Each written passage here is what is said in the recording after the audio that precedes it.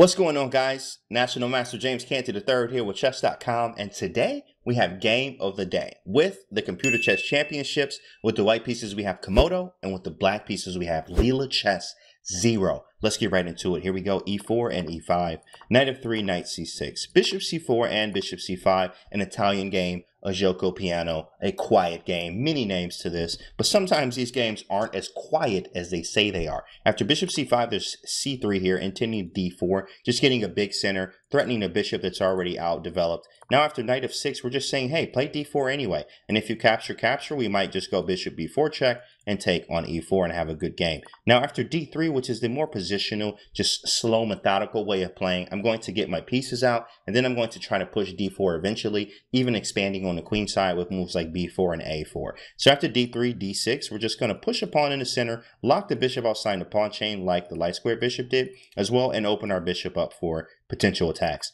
Castles and then a6 here. Very multi-purpose type move here. B5, but also the biggest thing is bringing the bishop back to a7. And we're going to sit here and be a monster for forever, as long as the bishop e3 doesn't come in. Now, rook to e1, and then bishop to a7. He does, or she, Leela Chess actually brings the bishop a back to a7 here and eyeing this big diagonal what we call here is a snake in the grass guys if you don't see the snake in the grass and you step on it or you come near it what's going to happen it will bite you you wouldn't even know it so this bishop here is doing exactly that sitting from the other side of the board a4 expanding on the queen side, stopping queen side expansion um, and tempo. Well, for black here, which was, which would be b5, so a4 is played, and then castles and h3, stopping bishop g4, and also knight g4, which could be extremely annoying.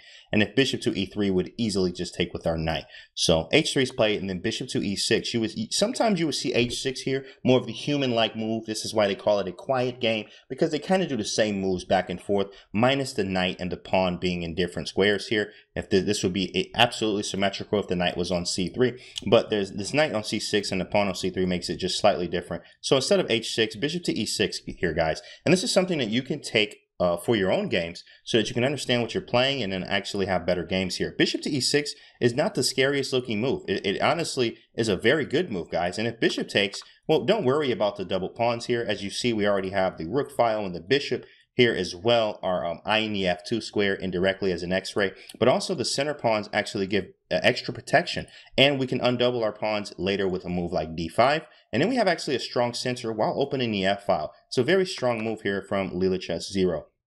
Bishop to a6 and knight to a3 here, saying that if you capture, I'm just going to bring my knight to c4. So that's why they say sometimes to take is a mistake. You don't always want to just capture just because there is a capture there. As you see, bishop takes e6 was not played just yet. And then h6 here, now we're like, okay, you know what? No bishop g5s, no knight g5s at all. So we play h6. And now, surprising move, actually, bishop takes e6 is now on the board. And then after f takes e6, there's a lot of play for black here.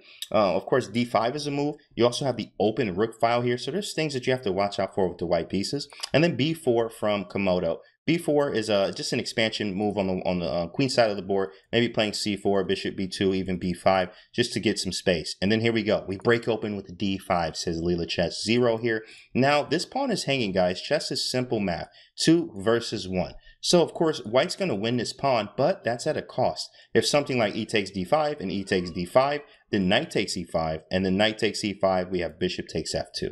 Then king takes f2 and knight g4 with a double check and also a discovery on the e5. Let's actually put that on the board here so you guys could see that.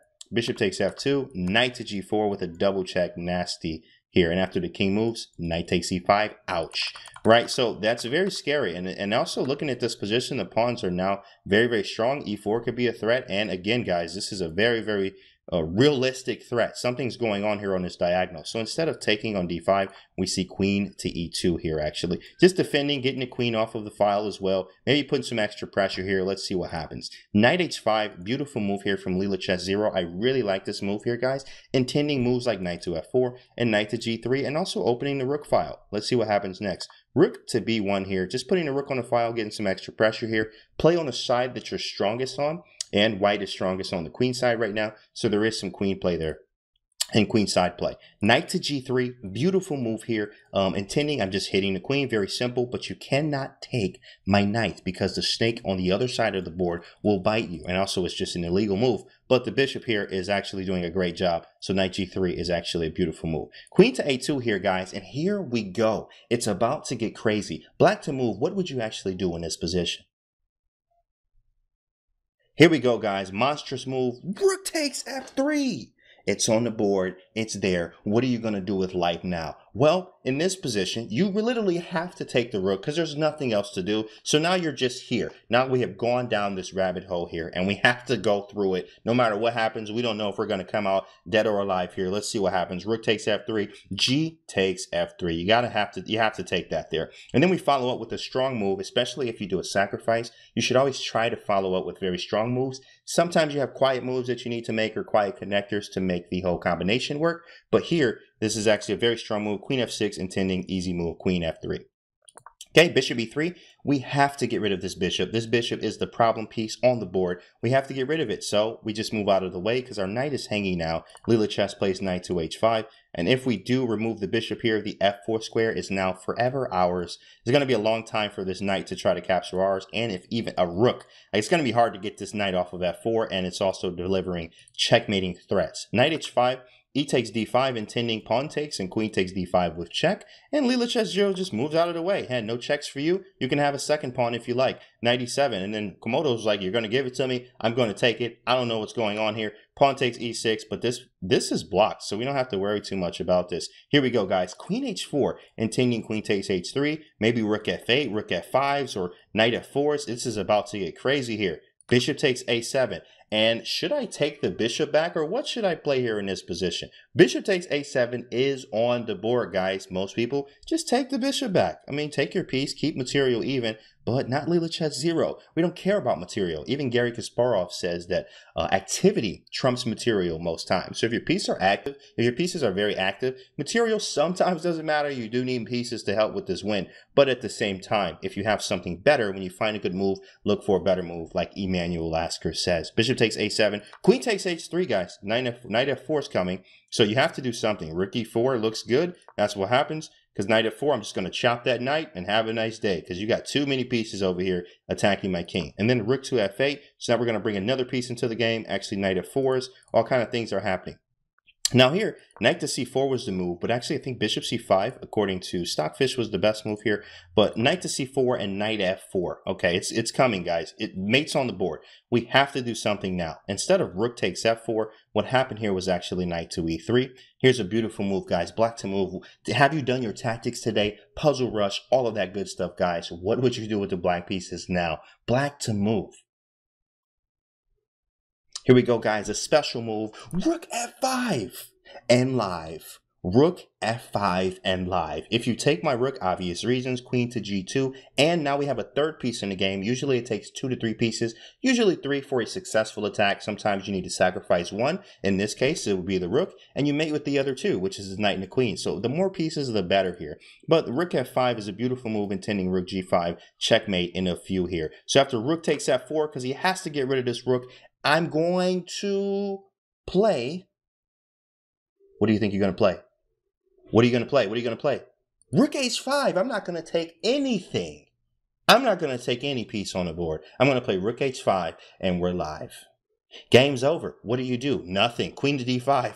Queen to d5. Giving up my queen was the best move I could find here says Komodo. But it doesn't matter because Queen H1 is checkmate and have a nice day. Beautiful game here. Another attacking monstrous engine genius game here. Guys, something that you can take away from this game again is absolutely using this F file like how Leela Chess did here.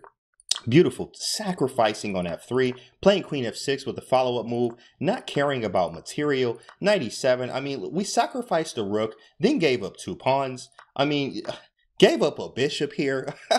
and destroyed. I mean, absolutely beautiful chess here. Sacrificing another piece. I mean, almost like Leela Chess and Tal are best friends. Absolutely. This is absolutely ridiculous here. Beautiful play. Beautiful play. And after rook takes, instead of taking it back like most people would, maybe when rook takes or pawn takes, pawn takes runs into knight takes. So the maybe rook takes. Rook g5, rook g4. But rook h5, there's nothing to you can do to stop the checkmate on h1. Beautiful. Even rook h4, we just take it and go back to mate here, guys. This was a beautiful game, a beautiful monstrous computer game that we watched here today, guys. And that is awesome. So I hope you guys enjoyed the video. I'm National Master James Canty III here with chess.com, and I'll see you guys on the next video.